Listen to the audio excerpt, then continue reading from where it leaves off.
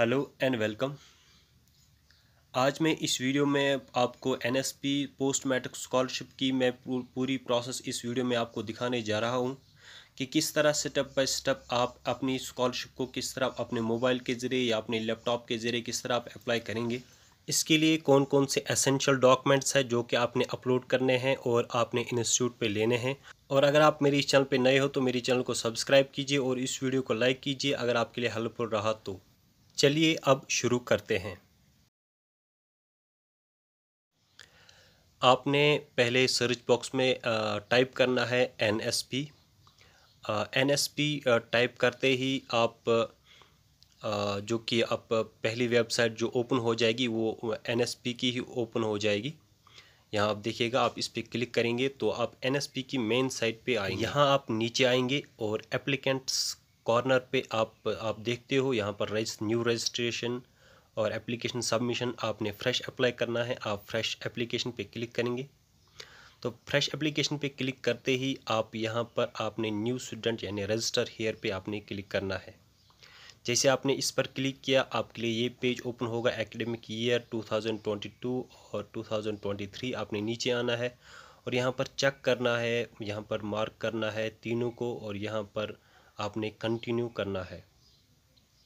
और यहाँ पर अब आपने अपनी डिटेल देनी है जो भी आपकी पर्सनल डिटेल होगी एज़ पर स्कूल रिकॉर्ड आपने देनी है। और आधार कार्ड आपके स्कूल रिकॉर्ड के साथ मैच होना चाहिए। यहाँ पर आप स्टेट को चूज़ करेंगे और यहाँ पर पोस्ट मैट्रिक स्कॉलरशिप को चूज़ करेंगे। यहाँ पर अपना नाम देंगे और यहाँ पर अपना स्कॉलरशिप स्कीम टाइप आप चूज़ करोगे। और यहाँ पर मैंने स्कॉलरशिप स्कीम को चूज़ किया और यहाँ पर आपने डीओबी को चूज़ करना है कि आपकी डीओबी क्या है।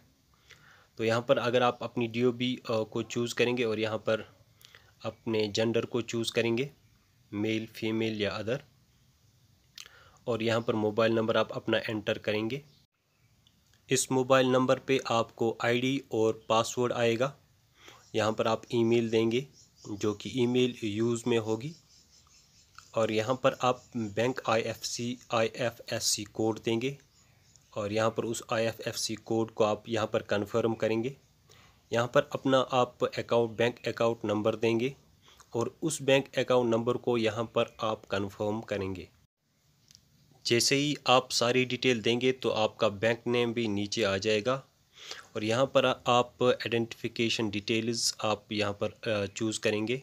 अगर आपके पास आधार है तो आधार नंबर देंगे या आधार नंबर का एनरोलमेंट देंगे या बैंक अकाउंट नंबर देंगे जिसके पास आधार ना हो। यहाँ पर मैं आधार नंबर दे देता हूँ और नीचे मैं कैप्चा फिल करता हूँ। कैप्चा फिल करने के बाद आपने चेक करना है, यानी टिक करना है। और तीनों जगह आपने लेफ़्ट साइड में जिस तरह मैंने चेक किया टिक किया आपने भी टिक करना है और नीचे आपने रजिस्टर पे आपने क्लिक करना है। इस तरह आपकी रजिस्ट्रेशन प्रोसेस कंप्लीट हो गई।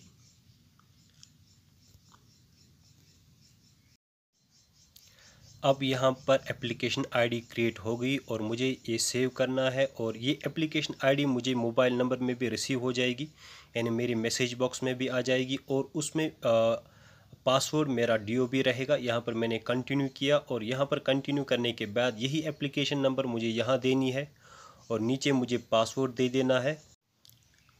पासवर्ड मेरी डीओबी रहेगी और यहाँ पर मुझे कैप्चा फिल करना है। अगर कैप्चा ना समझ में आया तो यहाँ पर रिफ़्रेश करके कैप्चा डालना है और फिर मुझे लॉगिन करना है। जैसे ही मैंने लॉगिन पे क्लिक किया, यहाँ पर मेरे मोबाइल पे एक ओटीपी आया और वो ओटीपी मुझे यहाँ देना है।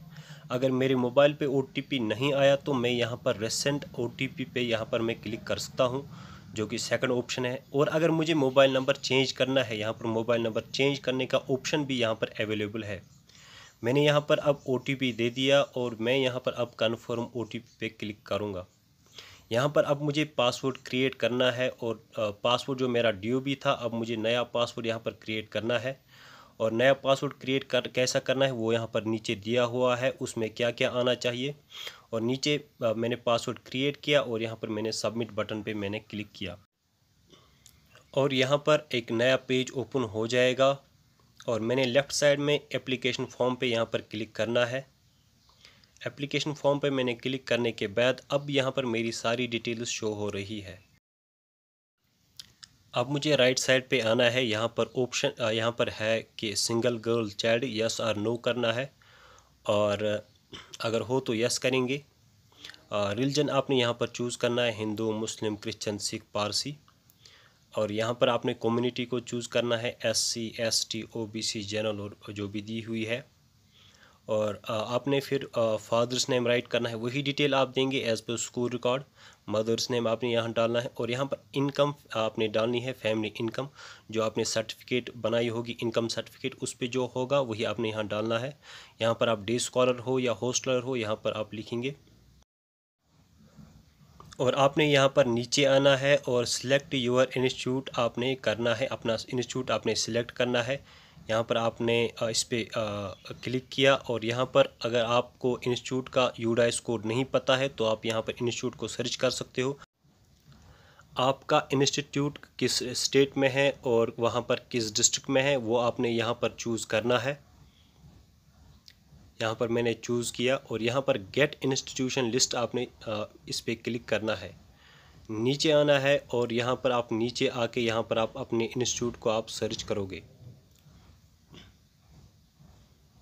और यहाँ पर नीचे आप नेक्स्ट पे क्लिक करोगे यानी पेज नंबर टू पे पेज नंबर थ्री पे पेज नंबर फोर फाइव पे। अगर वहाँ पर आपको इंस्टीट्यूट नहीं मिला तो यहाँ पर आप सर्च कर सकते हो अपने इंस्टीट्यूट का नाम यहाँ पर आप लिख सकते हो। ये मैं आपको इंस्टीट्यूट का नाम आपने यहाँ पर लिखा और यहाँ पर आपने इस, इसको मार्क करना है। और मार्क करने के बाद यहाँ पर आपने इसको सिलेक्ट करना है। सिलेक्ट करने के बाद आपका इंस्टीट्यूट सिलेक्ट हो गया। अगर आपको यूडाइस कोड पता है, वो भी मैं आपको दिखाता हूँ, आपने किस तरह वो सर्च करना है। आपने यूडाइस कोड के लिए यहाँ पर आपने यूडाइस कोड डालना है, जो कि आपका, आपके इंस्टीट्यूट का यूडाइस कोड होगा, जहाँ जहाँ पे आप पढ़ते हो। और यहाँ पर मैंने यूडाइस कोड डाल दिया और नीचे जाके मैंने इस पर ऑप्शन पे क्लिक किया। और मेरी डायरेक्टली मैंने अपने इंस्टीट्यूट को सर्च किया यूडाइस कोड के ज़रिए और यहाँ पर मैंने सिलेक्ट किया। मेरा इंस्टीट्यूट सिलेक्ट हो गया और यहाँ पर अब मैंने बाकी डिटेल्स देनी है, जैसे यहाँ पर एडमिशन नंबर या रजिस्ट्रेशन नंबर या एनरोलमेंट नंबर यहाँ पर एडमिशन ईयर मैंने कब इस इस इंस्टीट्यूट में एडमिशन किया और यहाँ पर मेरा रोल नंबर क्या रहा और यहाँ पर सेक्शन मुझे चूज़ करना है। नीचे मुझे प्रीवियस कोर्स को चूज़ करना है, यानी अलेवंथ ट्वेल्थ या कौन सा first year second year degree का हो। और यहाँ पर मैंने प्रेजेंट क्लास या कोर्स को चूज़ करना है और नीचे मैंने मोड ऑफ़ स्टडी को चूज़ करना है। और यहाँ पर क्लास स्टार्ट डेट को चूज़ करना है और यहाँ पर प्रीवियस बोर्ड मैंने चूज़ करना है, यानी कौन सा कोर्स जो मैंने पिछला कोर्स किया था प्रीवियस कोर्स किया था, वो किस बोर्ड से किया था। यहाँ पर प्रीवियस कोर्स यहाँ पर मुझे चूज़ करना है। प्रीवियस पासिंग ईयर मैंने चूज़ करना है और प्रीवियस पासिंग परसेंटेज मुझे चूज़ करना है। अगर मैं रैंक होल्डर रहा तो यहाँ पर फ़र्स्ट सेकंड और थर्ड थर्ड रैंक को मुझे चूज़ करना है।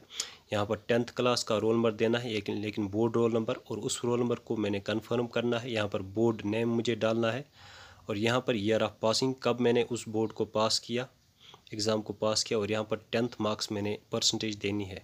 यहाँ पर ट्वेल्थ की डिटेल देनी है ट्वेल्थ रोल नंबर देना है बोर्ड रोल नंबर यहाँ पर उसको कन्फर्म करना है।